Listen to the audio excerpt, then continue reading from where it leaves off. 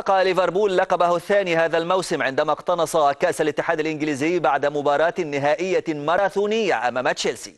وفي أعقاب انتهاء الوقتين الأصلي والإضافي بالتعادل السلبي اتجه الفريقان إلى ركلات الترجيح التي حسمت اللقاء لصالح الحمر. وتفوق ليفربول في ركلات الترجيح بنتيجة 6 مقابل 5 في المباراة التي شهدت خروج نجم هجوم الفريق محمد صلاح مصابا في الشوط الأول.